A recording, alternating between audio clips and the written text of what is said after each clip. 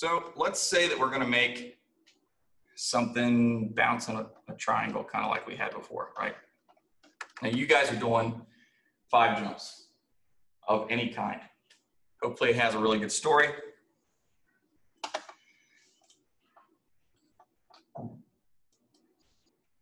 So let's say we have our box here. And we talked about how we set these things up properly, right? So we're gonna hit D. That's gonna pull up our universal manipulator and allow us to move our pivot point. I'm gonna hold V, which is snap to vertex. Yank that down, hit D one more time to accept its new position. Then I'm gonna hold X and just pull this up, to snap to grid. So now my box is sitting on the ground, right? If I add a plane in, crank this thing out real nice. I don't need all those subdivisions. All right, and I don't need that. Now, you might say, well, now I can't see anything. That's my intention. See, this way, if I mess up, you don't know. Yeah, it's perfect. Okay. If you guys want to see some color in your scene, I'm just going to show you this really quickly. This is not something you have to do, but it, it does make your scene a little more appealing. You can come in, right click on an object, scroll down to where it says add new material or add favorite material. Either one of those will work. If I do add new material, it's going to bring up this guy. I would tell you to select either a Blinn or a Lambert at this particular moment. I'm going to do, so the difference between a Blinn and a Lambert, a Blinn has specularity, so it's shiny-ish, has levels of shine. A Lambert is matte, all right? So if it doesn't matter if it shines, you might as well go with matte because it's easier on your processor. So let's say that I make these balls or these boxes kind of a dark color of some kind. You can click on this and play around with whatever color that might be. And we want it to be kind of a, it's pretty putrid. There. That's a something. All right. So we've got this dirty old box. Let's get a couple of those. Before I drag out more, I'm going to name this box 01.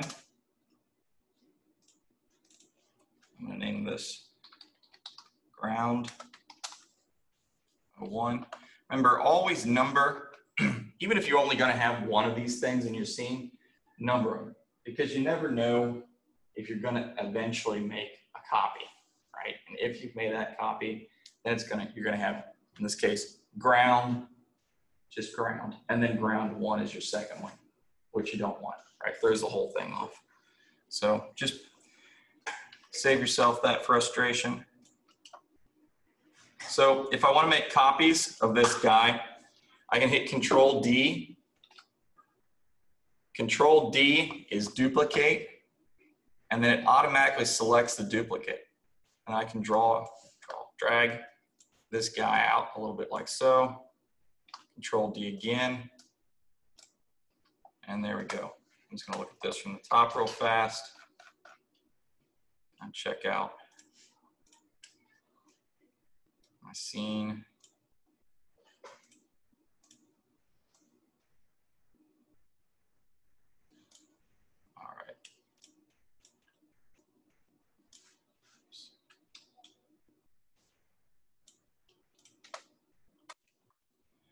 So I've got my three boxes and I need a ball to bounce.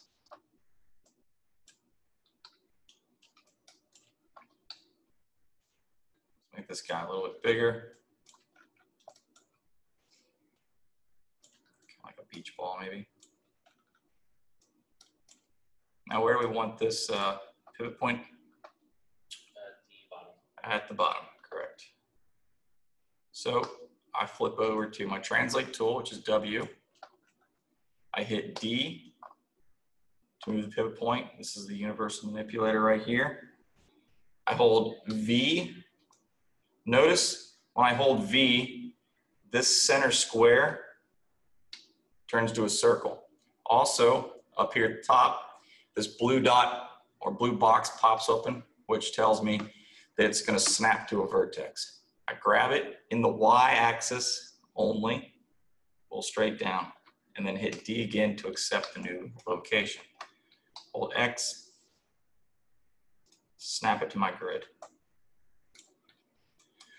All right, now,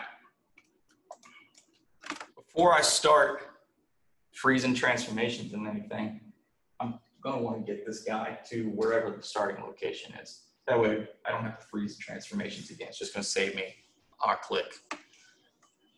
If you don't do that, it doesn't matter. Just remember to save or to freeze those transformations after you've moved it to its new location. All right. So we've got our ball roughly in place. That looks like a thing right there. I'm gonna go ahead and give this material as well. Assignment, new material. Let's make it a shiny ball. So we'll make it red and a Blinn. I'll lower this value just a little bit.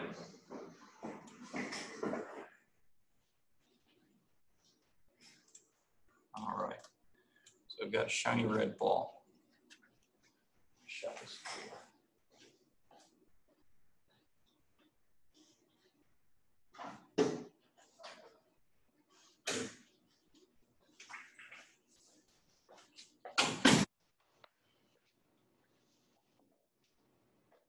You can play around if you want with varying sizes of these things, however you want to go about it. Give yourself some sort of story. Differentiate them a bit. That's up to you. You can add in ramps and hoops and all the things. It's essentially going to be the same process. All right, once I have everything here,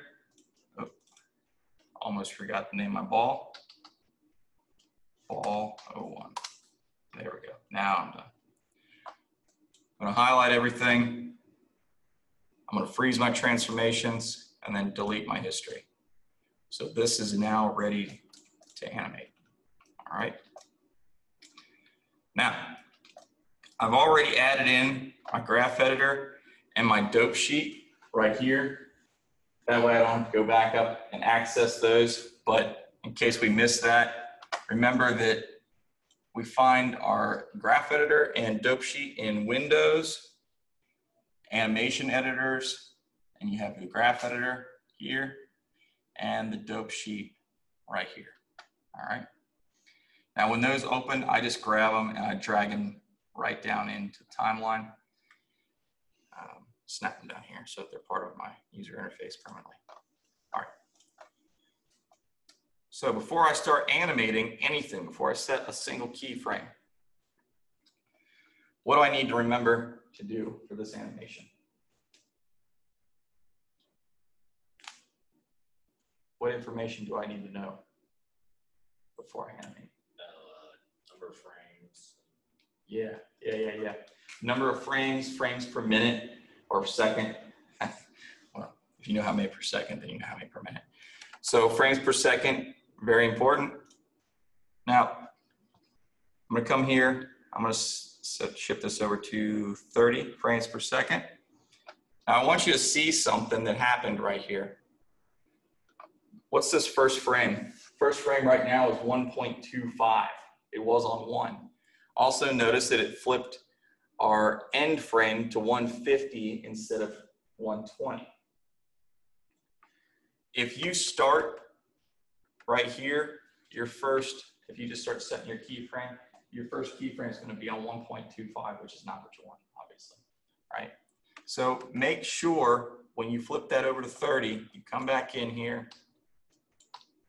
and you reset that thing back to where it needs to be, and then kick that guy back down to one.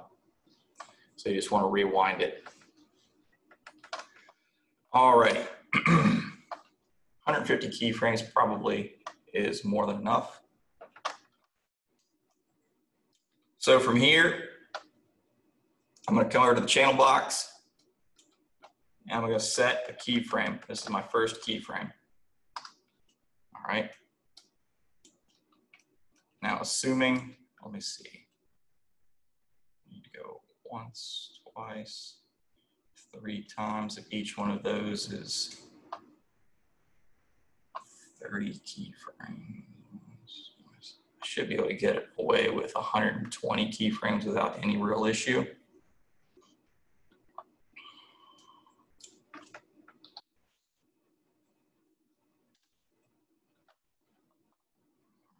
So what I'm gonna do is come over here to 120, I'm gonna set another keyframe.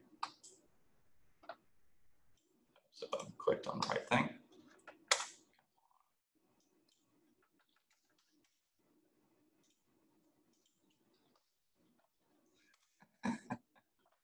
Oh, gonna be that guy. Okay. So we now have a looping animation set up. Why, why is it looping? Because it's in the same position for the start keyframe as the end keyframe. Correct, correct. So if it needs to loop before you do anything in the center, make sure you're nailing that first and last keyframe. It's just gonna save you a ton of time and frustration. All right. So we've got that guy. I'm gonna come back here. I'm gonna nail down all the key locations that my ball has to travel to, all right? So I know it has to come somewhere over here, has to come over here, and then it has to return back to here at 120, all right? So what I'm going to come over here to keyframe 30. I'm gonna move this ball. Let's move it like this. This is gonna basically bounce in a circle. It's gonna be weird, but whatever. Maybe there's a cyclonic wind in here. So this is my first keyframe. Then I move it to 60. Over here, that looks like a good spot. Come to 90.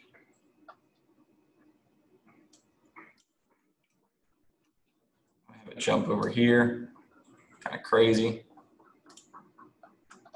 Set that keyframe, and then it's just gonna roll itself back over. All right. And we can play with uh, the in-betweens later. So if we come in, I watch real fast.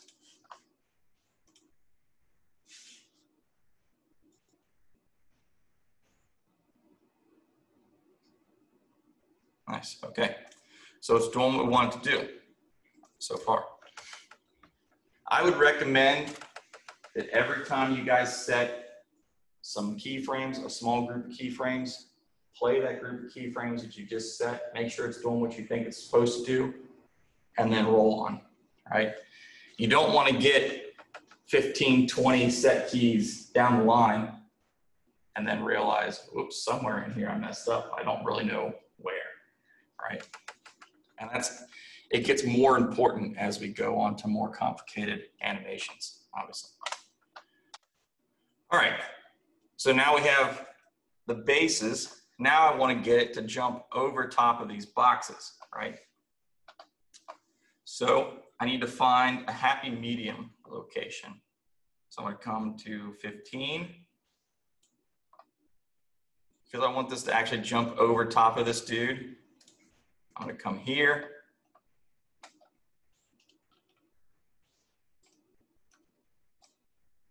And lift it up. All right. So I'm gonna set that keyframe. Maybe I wanna lift it a little bit more. There we go. Set that keyframe. Then I'm gonna move to 45. Move it right over top of this guy and lift it up. I'm gonna set that keyframe. Move it to 75. Lift that guy up. Move it over just a wee bit. Maybe have it jump kind of like that.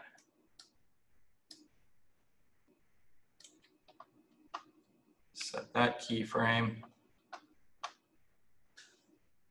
Now, if I want to just scrub through my timeline slowly, I can come in here. I'm left clicking inside the timeline. And I'm just dragging that back and forth, right? To kind of get a feel for the timing and the location of things. All right. So I'm going to have this guy kind of hitch out this way. So he jumps in from there.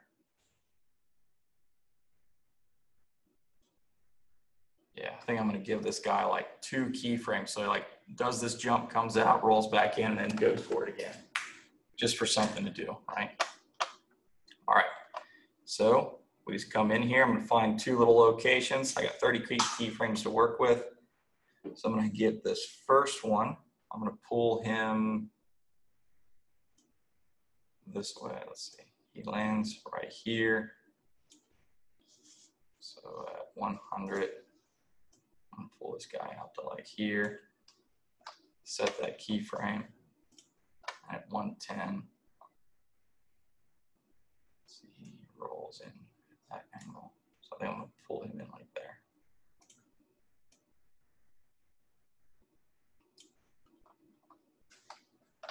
All right. It kind of wiggles itself back into alignment. It's kind of fun. All right. Any questions so far? I mean, super basic, it's just hitting S and moving a thing. Biggest thing I see in the very beginning at this kind of uh, stage of animation is just people forgetting that you have to select the keyframe before you could select the movement of the ball, right? If you move the ball and then select the keyframe, it's going to shoot itself back to where it was. So always keyframe first or select the keyframe, then move the ball, then hit S to save that keyframe. All right. So now that we have some of the main motion down, I'm gonna start honing in on a single jump, right? And basically whatever we do for that jump, we'll have to go back and start repeating that pattern on all the next jumps, all right? So we're gonna come in here, we're gonna look at this first dude, which happens between one and 30, all right? So how do we isolate a single jump? The, the bottom, the gray slider. Yeah, the gray slider, right? So I'm gonna come in here. I know it happens between 130. So I'm just gonna grab this dude, squeeze it down. 30. So now, if I come over here and I hit play, I'm only getting this one dude. Pretty nice. And we're defying all physics here. All right. So we got that going on. Now we want to start coming in and doing those tweens right? So we talked about all this out we can. We talked about the ball starts and stops here and has a dude up here at the very peak. This is currently where we're at. We haven't added any actual calculations in the scaling, only translation, right? So what we want is to start off in this squash at the base, come to our zero, zero, zero ball midway into that jump. At the peak, we want to have the base lift up just a little bit, like he's lifting his legs. This guy's still going to have a little squash when it lands. And there's going to have to be a reach in between the zero, zero and the squash. All right.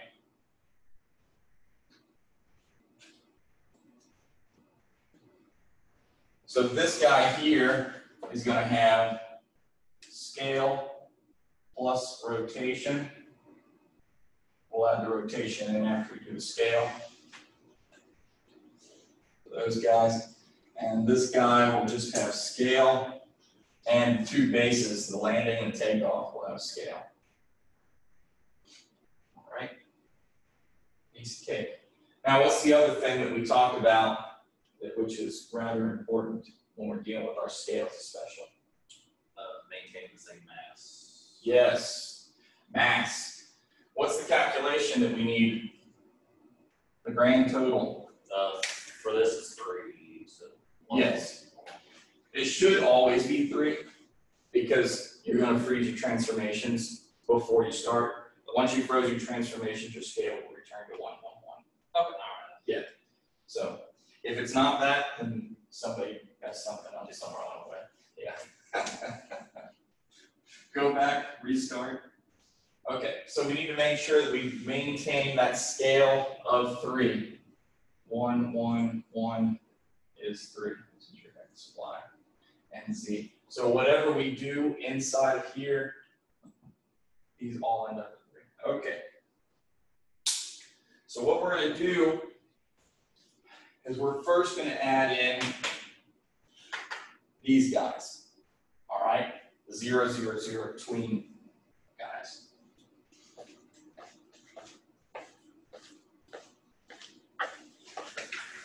And I'm just using really easy math here. So I'm just splitting differences, right?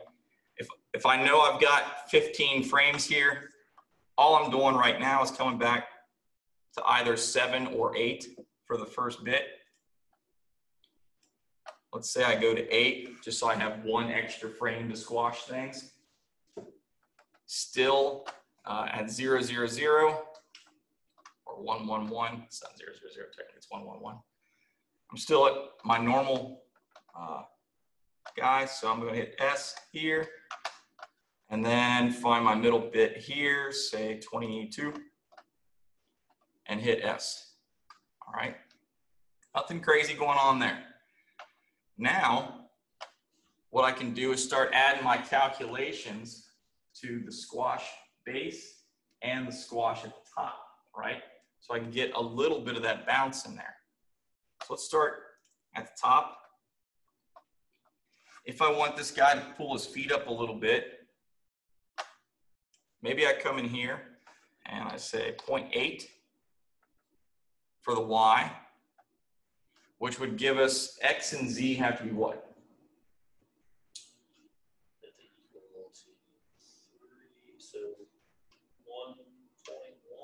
Yes, yes, 1.1. All right. Boom. Okay, hit enter. Reselect my ball and hit S. All right. So now, wind. I've got a little bit of squash at the top, which feels like he's pulling his legs up to make it over top of that thing, right? All right.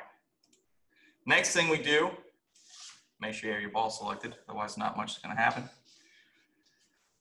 I'm gonna add that base squash, right? So it has a little bit of lift off and a little bit of landing.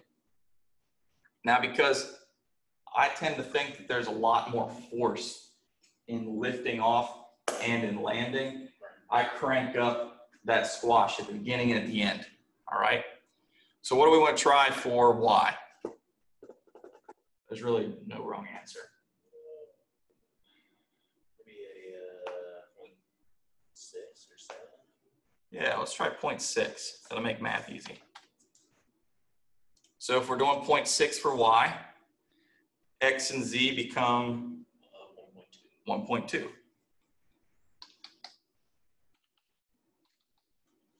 All right. And grab that guy. So we're at the base. I'm gonna set that dude. I'm gonna come over here. I'm gonna do the same thing. 1.2, 0.6, 1.2. Enter. Boom. Reselect my ball. And S. All right rewind, and play. I'm gonna deselect as well.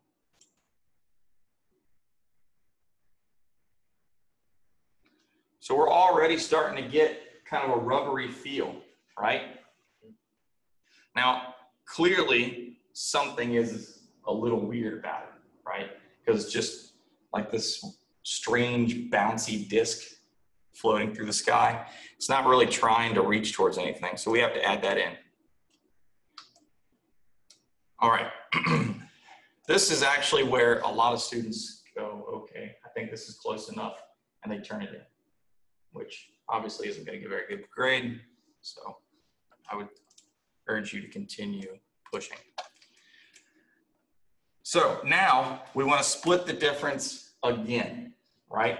So if we're going to do that uh, reaching ball, we have eight frames here. So let's say that we come to four. That sounds good. I'm going to take this guy. I'm going to essentially invert what I did before. So I'm going to scale both of these guys, the X and the Z, the opposite direction. So when we're here, we're at 0.6. So I'm going to come in at frame four. Let's say 0.8, 0.8, and then this has to be 1.4. All right. so we reselect this guy, set that keyframe. I'm going to come over, give myself four frames over here and do the same thing. 0.8, tab, 1.4, tab, 0.8. And set my keyframe. Rewind.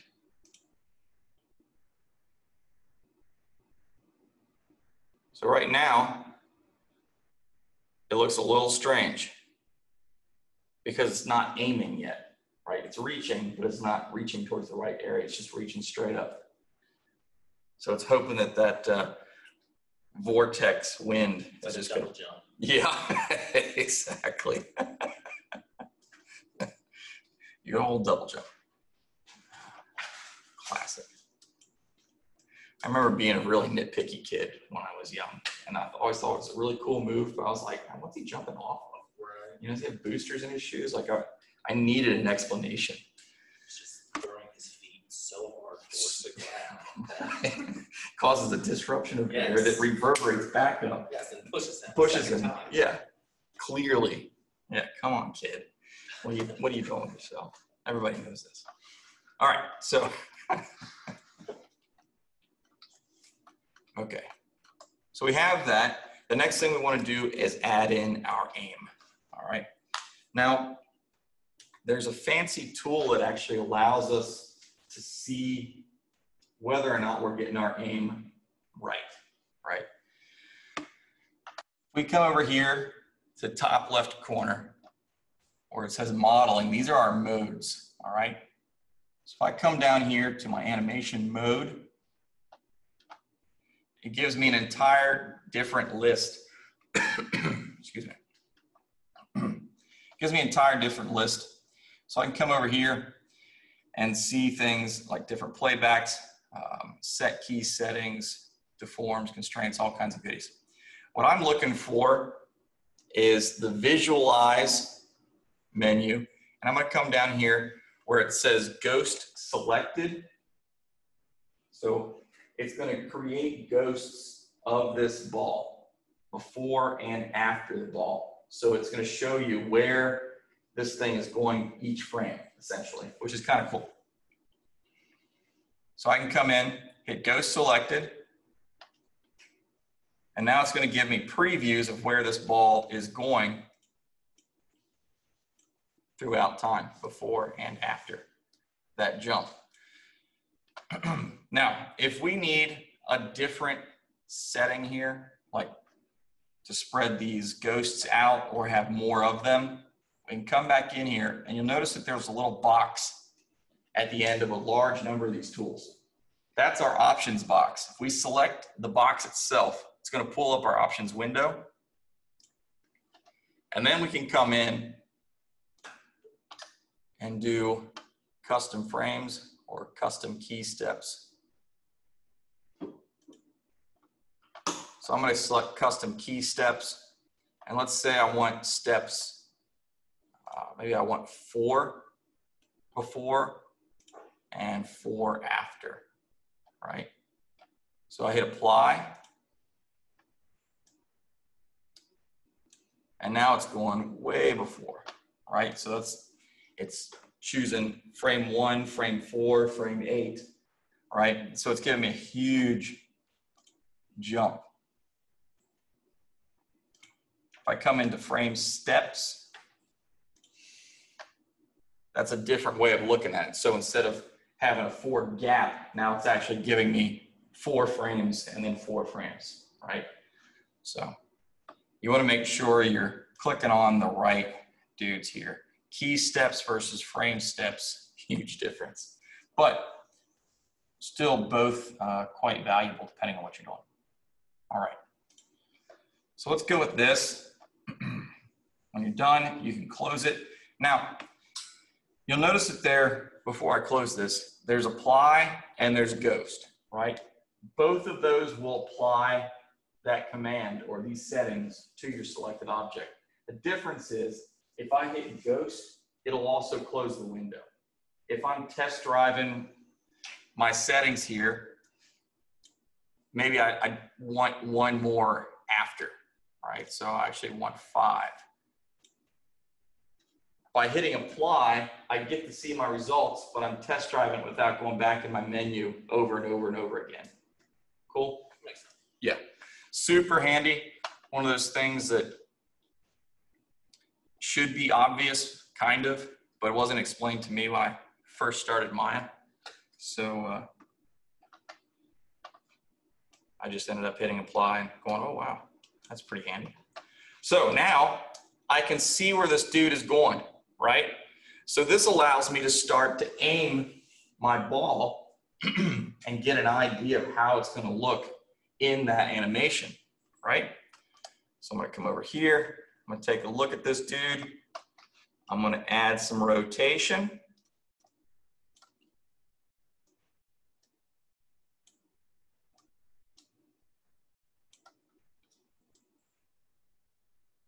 And I'm essentially aiming it towards my 111 ball, this guy right here.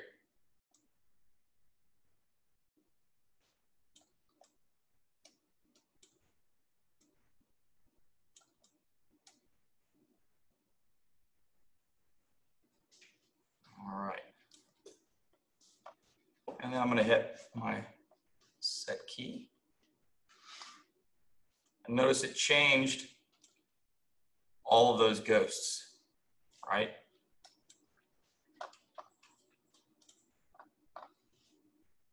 And if we want to get rid of ghosting, you can also come over here, by the way, to your animation tab you notice right here, we have ghosting, no ghosting. All right. We also have motion trails, which are kind of neat, but we're not going to deal with those right now. So I'm just going to turn my ghosting off. And then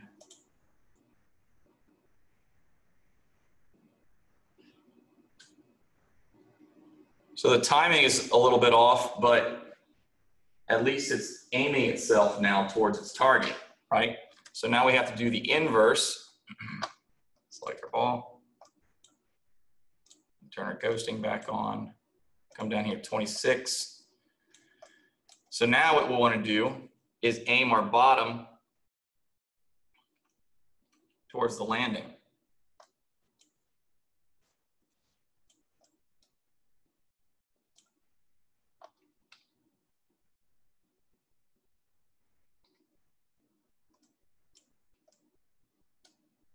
And this will likely require translations and stuff as well, but we'll get to that here in a second when we start fine tuning. It's not bad on that axis.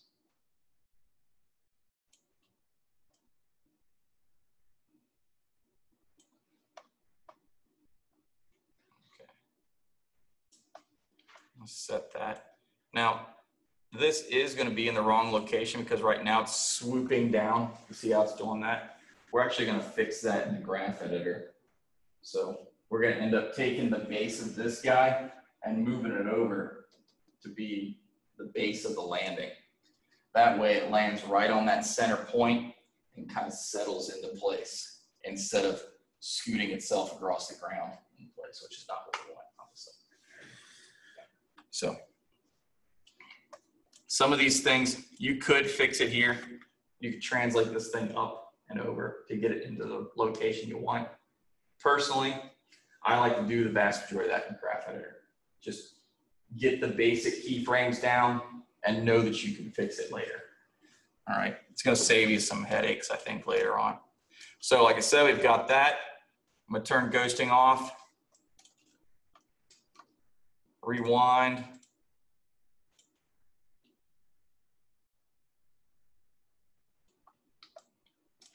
And you can see it's a little wonky right there. The liftoff isn't bad. It's not great, but it's not bad.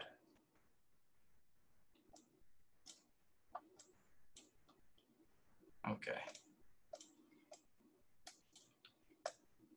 So now, if we're happy, and we'll say that we're happy, we would want to go on to the next guy, right?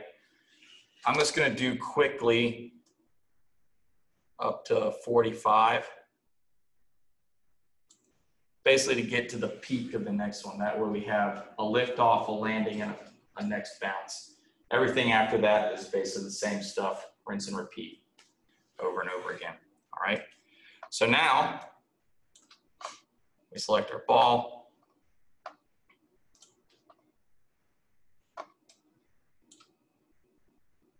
It needs to jump from here up to here, right? So let me go ahead and move this guy up to 30. I give it a couple frames before just so it's not so crazy.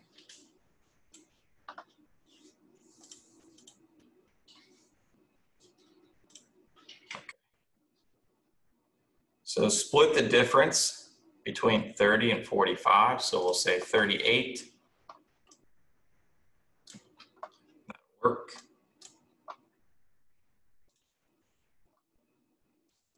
So you notice because we added the squash to this guy, at that base, now it's still flying kind of like a pancake to get to the top, right? So we're gonna have to add in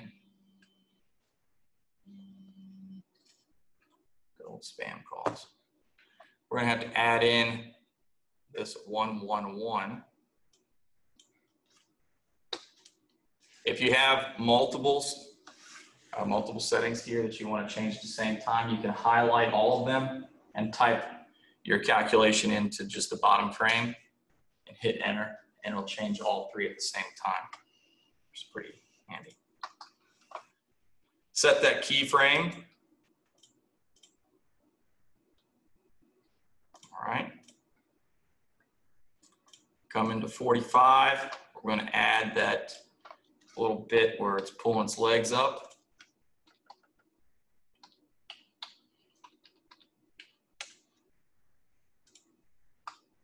Okay.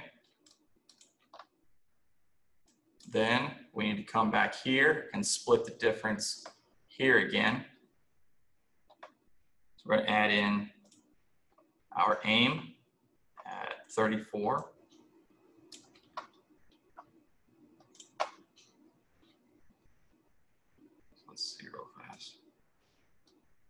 Jumps, let's come up to here. So this is actually our aim or reach.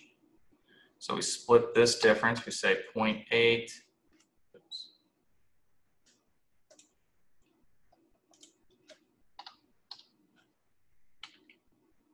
Uh, 1.4 and 0.8. Set that guy.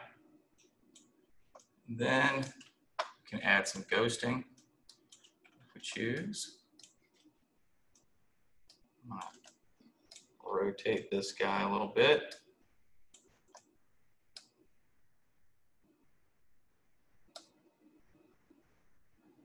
That looks good for now.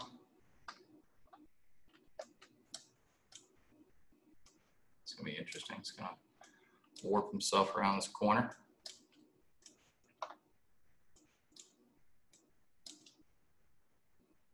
Turn my ghosting off. Rewind.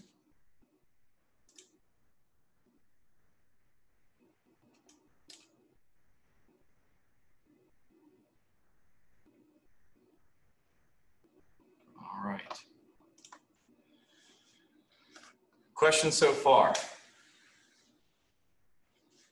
No, beautiful. So from here, we come into our graph editor, all right? Or our dope sheet. If I would use the dope sheet if I felt like um, my frames were too far apart, there wasn't enough spacing, or they were, you know, wh- whatever the deal was. I needed to either scale frames in to speed an area up, or I needed to uh, widen out some frames, scale them out in order to slow them down. All right. Right now, I don't feel too bad about the locations of these things. So inside of our graph editor, let me go ahead and crank this up just a wee bit. We move around in here just the same as we do with our pan. So it's still alt, middle mouse, and drag. That was the other thing that happened uh, other day. Middle mouse went out mid video. That was pretty fun. So I had to come down here and steal a mouse. That was cool. Okay. So we come down here, middle mouse with alt. We can drag this around. We can use our zoom with the right click, or we can use middle uh, mouse wheel to scroll in and out. We can also select groups of keyframes. So each one of these uh, little diamonds, these orange diamonds, if you're colorblind, they might not look orange, but it's a diamond shape right here. Those are your keyframes. And then each of these are referred to as splines. And then we have tangents, um, which is basically your handles here, right? Okay, so we can select groups and hit F, and that'll frame or focus you in on that particular area. So really fast way to dive back and forth inside of that graph editor. All right. a Few other things to note. Let's go scrub through this beginning. So I'm going to take this guy and limit our viewable animation down to the first 15 frames.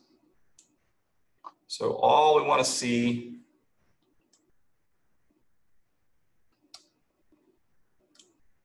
is that jump.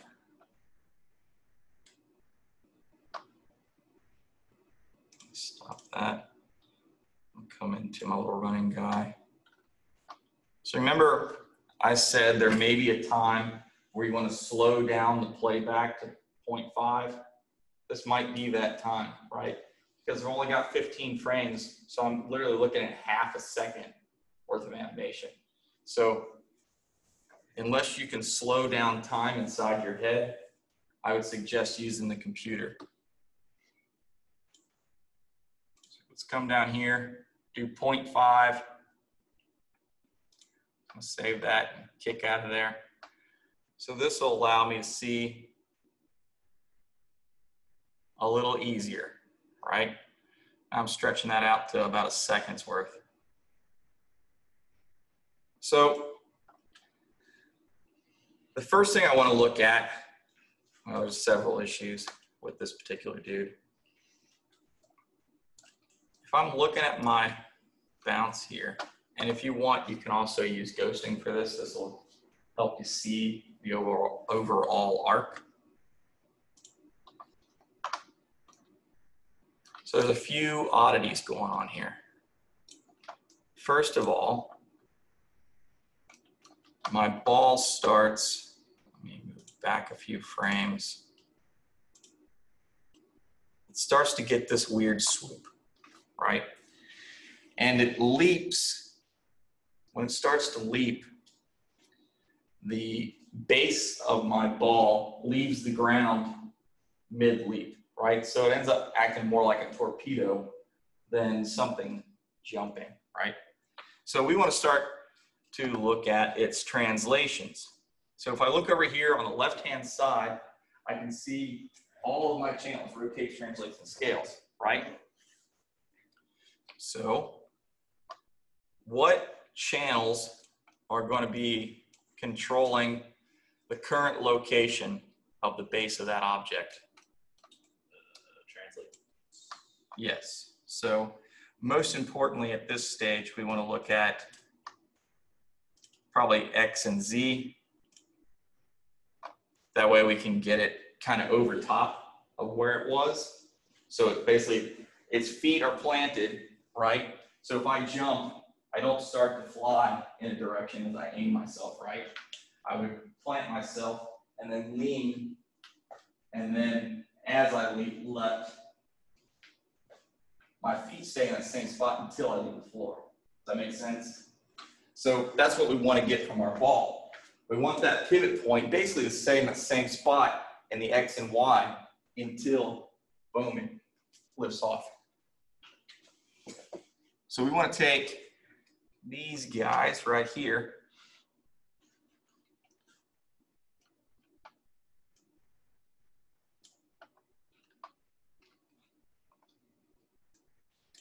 I want to grab this. And I can move this back towards its origin. You see how it's moving that right there? Inside the screen.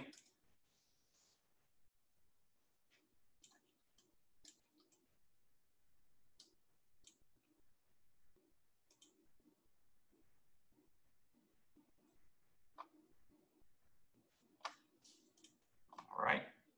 So that's one little adjustment. Then we can play with the Y as well.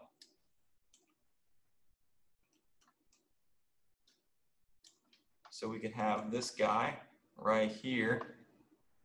We could bring it down a wee bit. We don't want it to poke through the floor too much. At that speed, honestly, you're not going to notice a whole lot, but it is something you want to be conscious of, right? So I'm kind of bringing it down, making sure it's still generally touching the floor, but not poking through too much. Got about a pixel's width, but that'll all come out in the wash.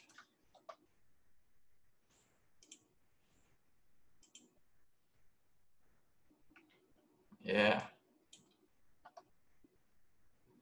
See how much smoother that looks? Now you can see it lean, push itself forward, and then yank its feet. Like it unglues itself from the ground. Okay.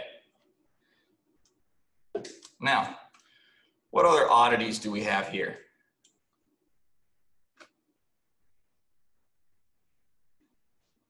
Let's come around the side a little bit.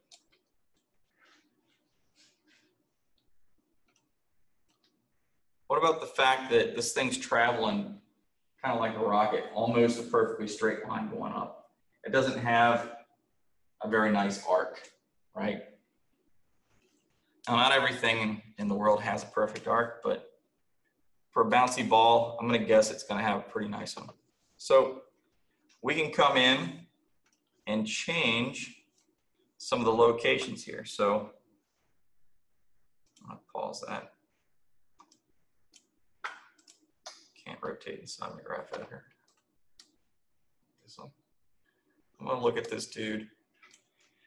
And I feel like it's not getting enough air in order to get that nice arc, right? So what I'm gonna do is come down here to frame eight, which is our one, one, one ball. And I'm gonna adjust it probably forward in time just a little bit, but definitely up in location.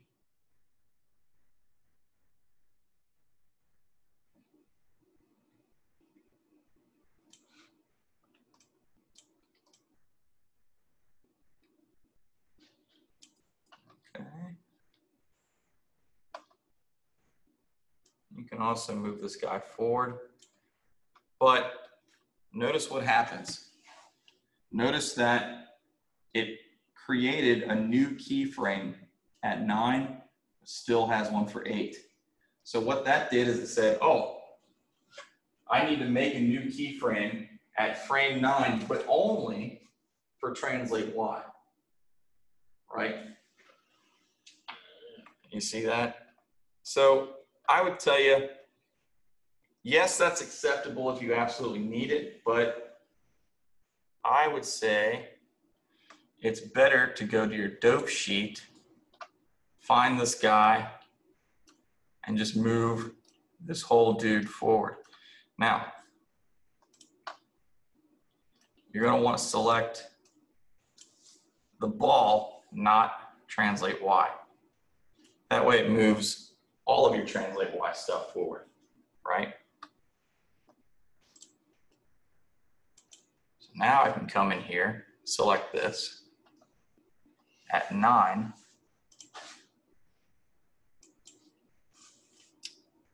And get a better feel for my arc. All right. Now the other thing I'm kind of looking at is I feel like at 111, it probably still should have a touch of rotation into it, right? I feel like it's resolving that rotation just a little, little too quick. So if that's true, I can come down here to one of my other rotates. So rotate X, Y, and Z. and I can choose to add in just a touch of those. Now, honestly, I would probably not do it in my graph editor. I would just do it in my scene. I would add in just a wee bit of rotation.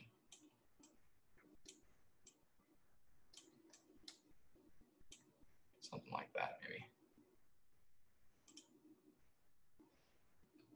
Reset that guy. All right, so next thing we're going to do is go to the peak. Peak is 15. Go over here. I'm going to look at this translate Y. I don't, I still don't like how flat this curve is. I would like it to gain a little more height. So I'm just going to grab 15. I'm going to pull this guy up just a wee bit.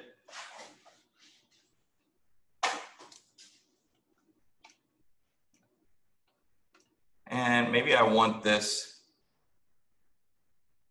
to hold a little height for a little bit longer, right?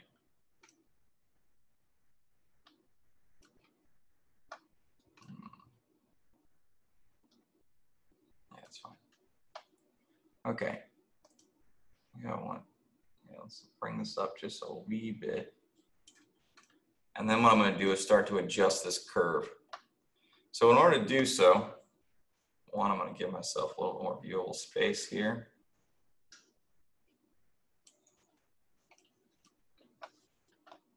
I'm also gonna change the properties of my ghost real quick.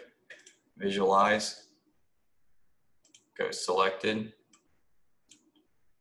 I'm gonna take this, I'm gonna say step size of two.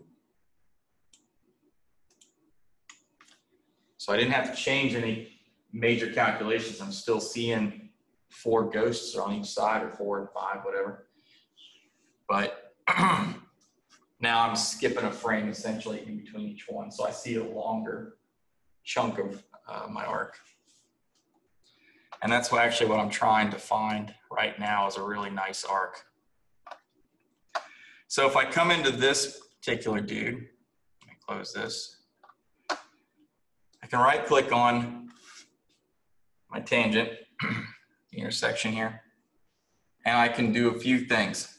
The first thing I want to do is break my tangent. So what does that mean? Well, if I come in and I select one of these handles, notice that it changes all of my curve at the same time, right? You guys, have you guys all had 221 where you use uh, Adobe Illustrator yet? I'm in it right now. Oh, you guys are in it right now? Okay. I know they're co-recs. Some people have it early, some people don't. So I'm guessing you guys haven't gotten to Illustrator yet. Uh, yeah, I think we're supposed to do that. Probably Next later. week maybe or something. Yeah, probably. Soon. Okay. Okay, so uh, basically, there's a thing called a pen tool in Illustrator. It works similar to this, and you're using math to figure out an arc. So since you guys haven't had Illustrator, I won't uh, use that analogy. Okay, so nonetheless, we can see that it moves both sides of this spline here, right? So if I break this, right click, come down and say break tangents, Notice that my icon here went from a solid line with a triangle to a dotted line with a triangle. The dotted line means that it's a broken tangent, all right? Also means I can now grab and move one side at a time, right? Which is pretty handy when you need it. Now, the next thing I want is to add weight to these tangents, right? That means I can pull them out and lift them up and down to really get, uh, let's say this peak, let's say I want it to have a little more hang time at the top, right? So I right click the tangent, I come down here and say weighted tangents. Now it's gonna change it to a square, right? So square means that it's weighted. The dotted line means it's broken. So now I can come in here and grab these dudes and pull to the outside and move up. So notice that this is gonna widen the peak of my hang time. Now I'm gonna hold shift. yeah. Hmm. Shift used to snap this thing. Apparently that's not turned on right now. So I'm gonna widen this out. I'm trying to keep this bar pretty flat. What I don't want is to have it like this, right? If I have something like this, my ball is going to make an unnatural arc. It's going to find a peak and then shoot back over. And that's just because you were sloppy in how you dealt with your graph editor, right? Believe it or not, this is entire career right here. There are people in the animation profession who literally get uh, a basic animation from somebody and their entire job is diving into a graph editor and cleaning it up and making it look amazing. It's not the most exciting job in the world, unless that's what you're into, but you know, it would definitely be a good step in. Okay, in the door. Okay, hmm. It could be neat. yeah, I mean, honestly, I think it'd be kind of fun. Would it be tedious? Yes. But be honest, there's not much in 3D that isn't without a, a touch of tedium. You have to kind of embrace it. Okay. What time do we get out of here? 11:40. Okay. All right. So now I'm widening out that, that peak just a bit. And because I've widened that out, look at my curve here. See how that's not a continuous arc? It kind of finds a lump. There's like this strange spline action going on there. So I can fix that a couple of different ways. I could highlight this thing and come over here and call it uh, linear. So if I go to tangents, I come down here and call this guy linear.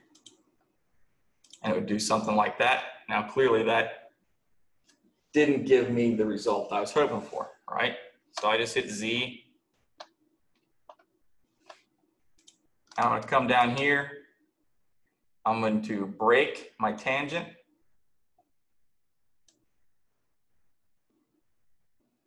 And fix this guy.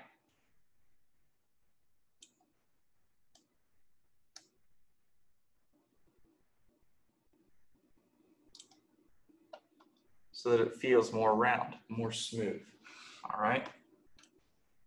Now, I know what you're, you're thinking right now. You're thinking, man, this is going to take a lot of time. I don't have time because, dang on it, Brummer, I've got five other classes that I've got to deal with this semester.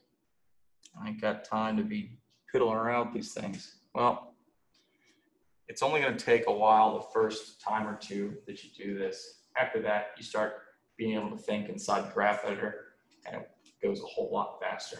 All right. So I would say take the time, learn what you're doing now, and it's going to pay off in the end. All right. So now I think I'm relatively happy with this as it is. I haven't fixed the landing point yet, like I did the, the takeoff point, but you would do that exact same thing, but do the time. We have like two minutes left. Um, you get the point. It's a rinse and repeat. You just go through, you clean up the takeoff or the liftoff, go to the landing, make sure you're moving that where the feet land should be the center point of that squash, right? So as it's coming down, the center point should hit and then the whole ball should squat down into that landing squash and then take off again from that, that position.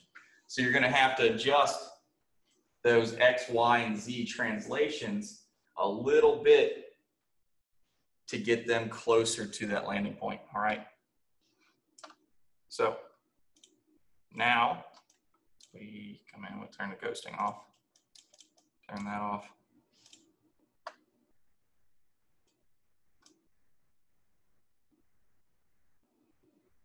I would say that looks a whole lot nicer. Just a little bit of adjustment. Let me put this back to one. Save it. It's fine to preview this thing at half, but always make sure you go back to times one and see what it's going to look like for real.